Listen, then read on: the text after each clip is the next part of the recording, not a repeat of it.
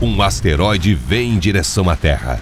Em seis meses, o mundo como conhecemos será dizimado. O que você faria? Haveria tempo para escapar? O que seria necessário? E para onde iríamos? Este é E se? Isso é o que aconteceria se tivéssemos que evacuar a Terra. A evacuação de 7,7 bilhões de pessoas em seis meses seria um verdadeiro milagre. Para se ter uma ideia, a maior evacuação da história dos Estados Unidos aconteceu em 2005, quando 2 milhões e meio de pessoas fugiram de Houston, no Texas, tentando escapar do furacão Rita. Um dos resultados foi um congestionamento de centenas de quilômetros, que deixou algumas famílias confinadas em seus carros por até 24 horas. Mas desta vez estamos falando de uma evacuação 3.080 vezes maior e que envolve viagens espaciais. Oh meu Deus, estamos lascados. Precisaríamos de pelo menos 750 milhões de foguetes para atirar todos os humanos do planeta com segurança. E isso seria o suficiente para levar as pessoas usando apenas as roupas do corpo. Esse número de foguetes seria insuficiente para transportar equipamentos, oxigênio, alimentos e papel higiênico.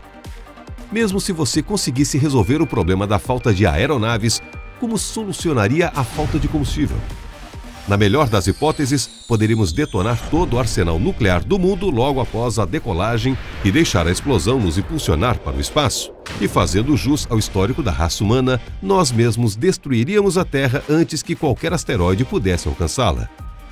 E se de alguma forma saíssemos do planeta com recursos suficientes para construir uma nova vida? Para onde iríamos? Usando o telescópio espacial Kepler, cientistas identificaram 50 planetas que podem sustentar a vida humana. Resta saber se somos capazes de sobreviver no espaço por um longo período de tempo. O estudo recente, Gêmeos, da NASA, revelou que o astronauta Scott Kelly, que passou 344 dias orbitando a Terra na Estação Espacial Internacional, sofreu mutações genéticas e experimentou uma diminuição na capacidade cognitiva em comparação com seu irmão gêmeo, Mark, que permaneceu na Terra. No entanto, com cientistas e empreendedores tentando descobrir uma forma de colonizar Marte ou a Lua, talvez encontremos uma maneira de tornar possível a vida em um desses dois lugares.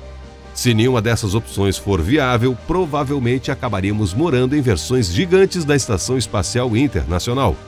Mas se considerarmos os custos astronômicos, a tecnologia e os recursos necessários para essa alternativa ser sustentável, essa opção também não seria tão viável assim. Na verdade, para que tudo isso fosse possível, nós precisaríamos de pelo menos mais mil anos para aperfeiçoar a tecnologia. E quem disse que a humanidade vai durar tanto tempo? Existem muitas pessoas brilhantes neste planeta, mas será que podemos realmente ser mais espertos que a Mãe Natureza? Bem, isso é um assunto para outro e se.